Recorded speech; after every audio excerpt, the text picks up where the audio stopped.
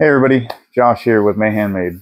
Um, today it's about to be Halloween. Um, got a small pumpkin from the store. It's supposed to be like the eating kind, but it's like a eight inch pumpkin. I'm gonna engrave on it. I'm gonna cut through it. So I'm not gonna engrave the top. I'm gonna cut through and put some lights inside, probably some LEDs, and make it light up and make it hopefully look nice. I did a couple of test runs and I was not super confident in the thickness of the pumpkins on it getting all the way through. So I really, really scraped on the inside and thinned out the wall that I'm going to use on, on this pumpkin so that it's as thin as possible and hopefully I get a good cut on it. So using the curvature, I'm going to likely be engraving or cutting and then I'll do two passes and then I'll lower it down, lower the laser module a little bit and then do two more passes and then keep lowering it and running it until it gets all the way through. So if I get through on some spots and not others, I may go in with a with a blade and touch up, you know, trim some of that stuff out of there afterwards instead of keep on cutting with the laser. Okay, so I am working in Creative Space today.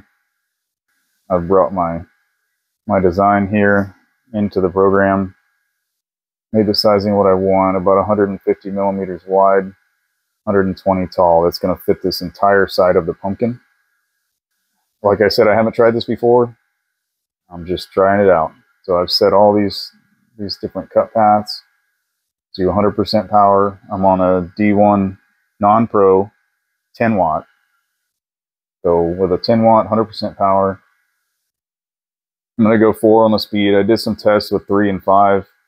Um, four is, it's going to do okay, I think two passes on this each time, and then I will lower it down and run it again, and then keep lowering it, like I said, until it until it works, cuts all the way through. Go ahead and process. Okay, so there's my pattern. Uh, everything looks good on that. Okay, looking at this pumpkin I've got in here,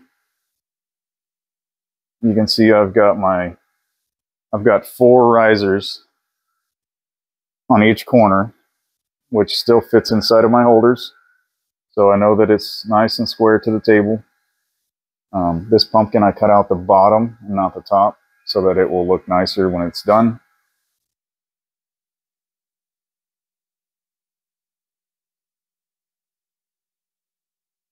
So I've, I've set this up, taken my tape, I can see where 120 is going to be, 60 in the middle with the crosshairs. And then I've looked at 150 to the side. So at 75, it's going to be about that wide. Hopefully this comes out as planned. We'll see how it goes. I've never done this before. Make sure you wear your safety glasses. Go ahead and frame this.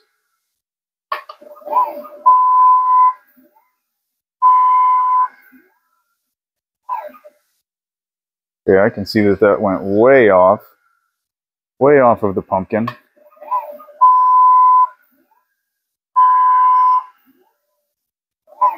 So I'm going to see what I can do there to fix that. I have to size it down a little bit.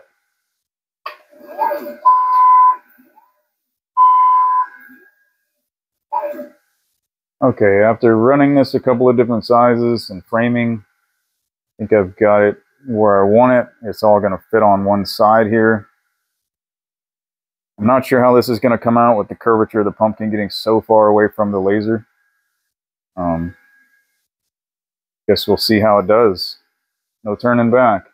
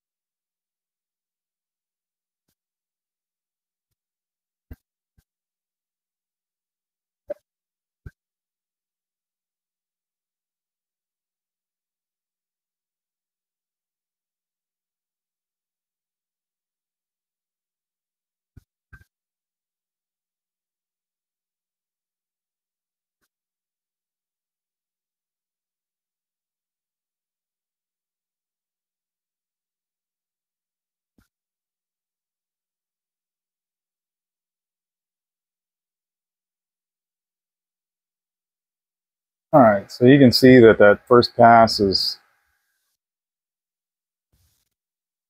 pretty dark on there. It cut in pretty good in some spots. Some spots it's out of focus.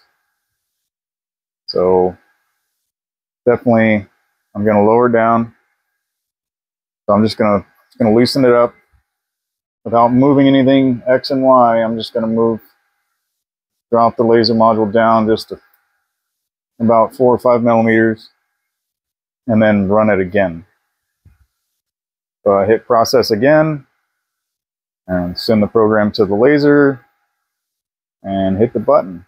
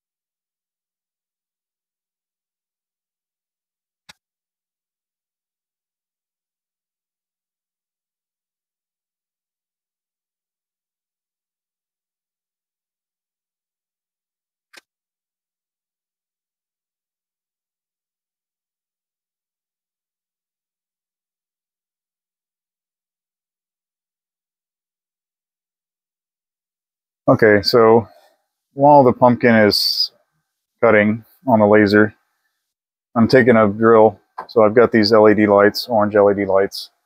Um, they're just like side marker lights for a truck. And I've got a whole bunch of them. So I'm going to use a few of these. I'm going to, I'm going to put holes in this bottom cover for the pumpkin and run the wires out the bottom and put the wires together I've got a 12 volt power supply I'm going to connect it to and illuminate the pumpkin.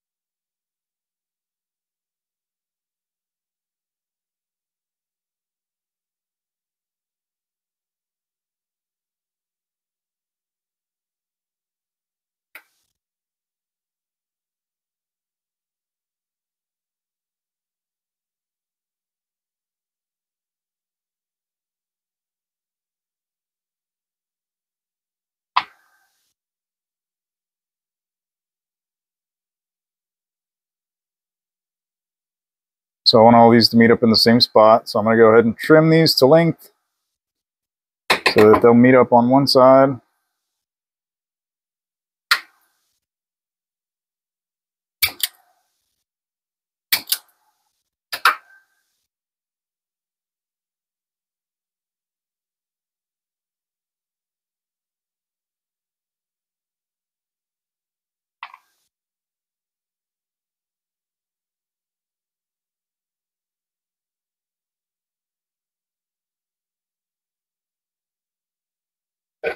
These twisted real good together.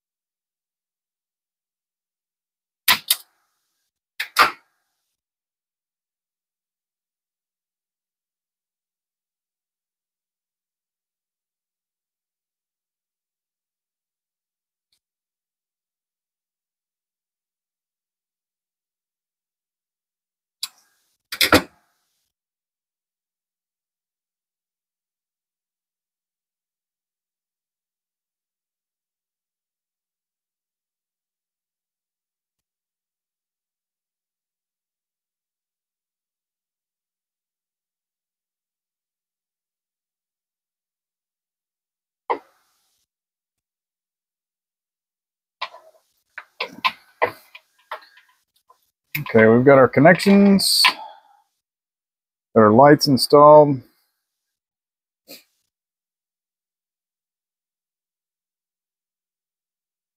And I may work something out to where this is going to fit a little more flush up against the bottom. I may make a groove so that it'll go underneath. Let's see what kind of light these things put off.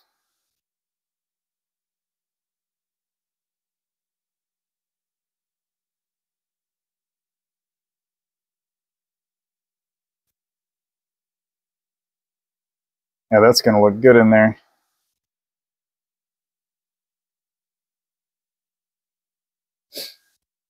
Well, that will illuminate our pumpkin. It'll look nice. Okay, um, on this one, I lowered it four different times and ran two passes each time so I ran five times, so that's 10 passes. It didn't cut, you can see that it did cut through on a lot of it. And I think in those places it'll just push right, push right through. Very easy to push in. I was going to take this opportunity to just put my lighted bottom that I made in there and just see what it looks like with just the outline. Okay, you can see that the wiring that I made I made it to where it will sit flat. Comes out the side.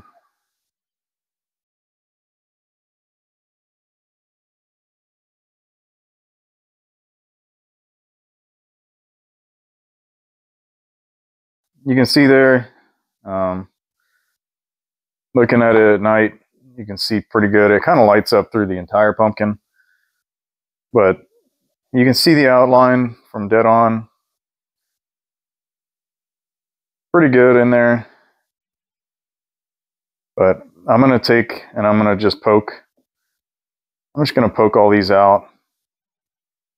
So I'm going to spend some time and use a little blade and just just run through all the cracks, knock all these little pieces out, and I will show you the end result.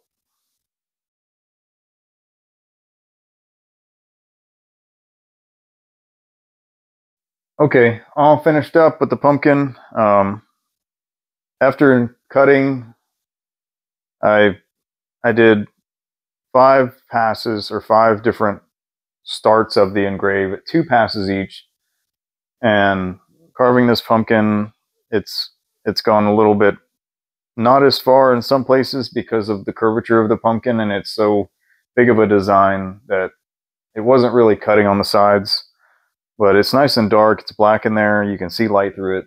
I'm I'm good with it. Um, the light setup worked really well. Um, that's going to sit in there. I've got a plug-in power supply that I can just turn it on. I can put it inside, outside, whichever. Um, overall, first time doing this, it came out okay.